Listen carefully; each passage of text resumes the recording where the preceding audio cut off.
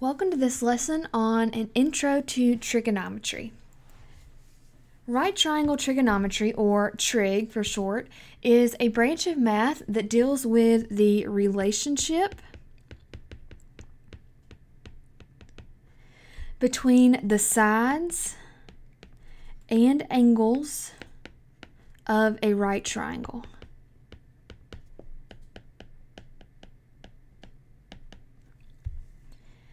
A trig ratio is the ratio or a fraction or a comparison between two numbers between the sides of a right triangle. So there are three trig ratios that we will learn in geometry. The first one is called sine, and you abbreviate that S-I-N. However, don't say sin, it's still pronounced sine. So the ratio of sine is the ratio of the opposite side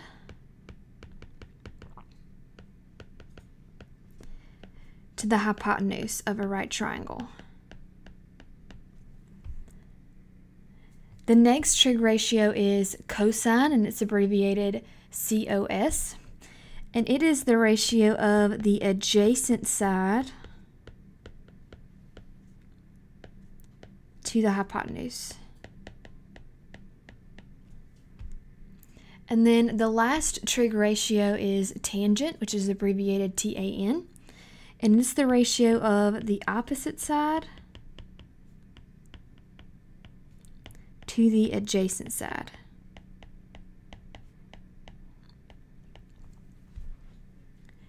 Okay, so let's talk about what those actually mean. So first of all, opposite side and adjacent side depend on the angle of your right triangle. And then the hypotenuse, we already know, is always across from the right angle. It's always the longest side. Okay, so let's look at this right triangle here, and I'm going to use some different colors.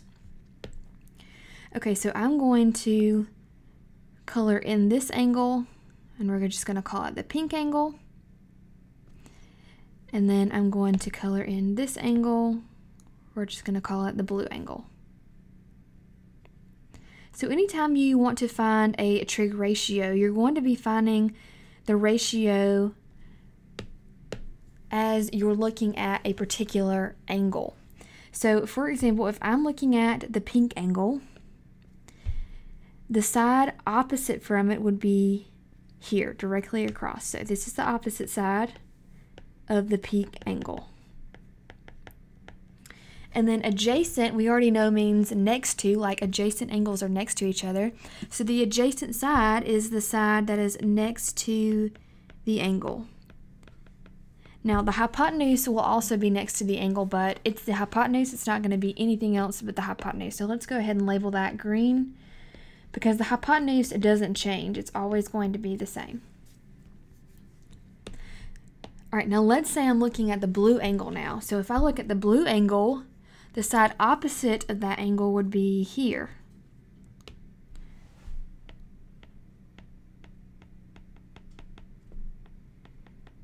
And if you are filling out these notes and you have two different colors, that would be a great way to remember this. And then if I'm looking at the blue angle, the adjacent side, the one right next to it, would be here. So opposite and adjacent depend on the angle that you're looking at. So for example, if I want the sine ratio of the blue angle, then I would want this side opposite over the hypotenuse. Or let's say I wanted the cosine of the pink angle. I would want this side adjacent over the hypotenuse. All right, so let's look at some examples that actually have side lengths. Okay, so here we have a right triangle, ABC, and it has side lengths of 3, 4, and 5. So I'm going to label angle A as the pink angle, and I'm going to label angle C as the blue angle. So before I even get into the actual examples, let's label our sides based on the angles. So if I'm looking at the pink angle, the opposite side would be 3. I'm just going to put an O for opposite. And the adjacent side would be 4. And 5 would be the hypotenuse. It's not going to change. If I'm looking at the blue angle, the opposite side would be 4 and the adjacent side would be 3. So opposite and adjacent switch depending on the angle that you're looking at. So if I want to find, for example number 1, the sine ratio for angle A. So I'm going to scroll back up here. Sine is opposite side over hypotenuse. So I'm looking at angle A. The opposite side for angle A is 3 and the hypotenuse of my triangle is 5. All right, if I want to find the cosine of angle A, so let me scroll back up. Cosine is adjacent side over hypotenuse. So the adjacent side to angle A is 4. The hypotenuse doesn't change, it's still 5. And then the tangent of angle A would be opposite over adjacent, so opposite of angle A is 3 adjacent to angle A is 5. Now for the next three examples, I'm not looking at angle A any longer, I'm looking at angle C. So opposite and adjacent sides will switch. So for angle C, if I want the sine ratio for angle C, opposite of angle C would be 4, and the hypotenuse is 5. The cosine of angle C would be adjacent over hypotenuse. So adjacent to angle C would be 3 over 5. And then tangent, you look back up, is opposite side over adjacent side. So the opposite side of C is 4, adjacent side is 3. Now an easy way to remember the trig ratio so that you do not have to keep going back in your notes and looking is SOH CAH TOA.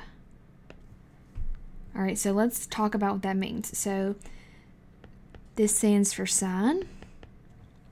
And sine is opposite over hypotenuse. That's what the O and the H are. The C is for cosine and cosine is for adjacent and hypotenuse. And then I bet you can guess the T is for tan, tangent, and that's opposite over adjacent. So at the top of any practice notes or worksheets that you're going um, to be completing, I would write that at the top, SOH CAH TOA, and then you already have the trig ratios and their orders right there for you.